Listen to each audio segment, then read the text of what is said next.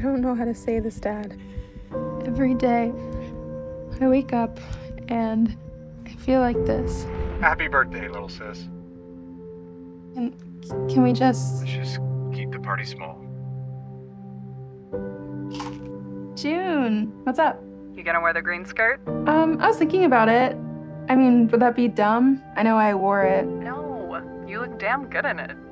Okay, well, I'll be there in five to ten minutes. Should I come in or wait?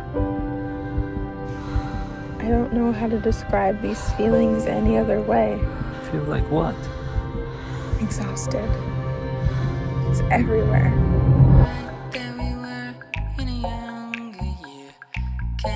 Today is going to be a good day.